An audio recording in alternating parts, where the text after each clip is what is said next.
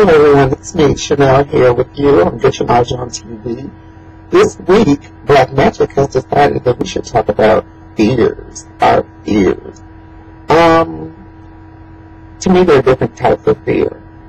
Um, I would see fear as being such a bad thing. Fear can be a motivator. One of my biggest fears is to, um,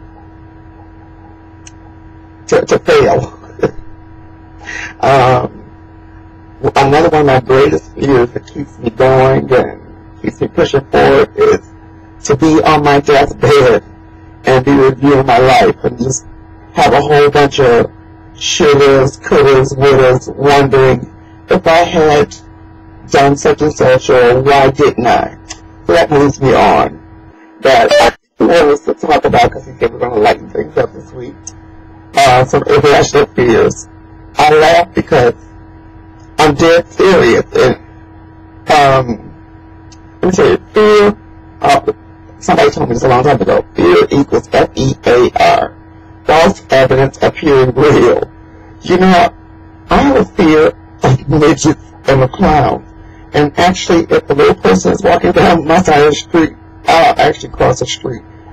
I don't know where it came from or what it is. And clowns, maybe it was the movies I watched in in the 80s. You know, we had Leprechaun and Killer Klowns from outer space. But I don't like, and it's funny that I don't like clowns with all the makeup that I wear. But anyway, I digress.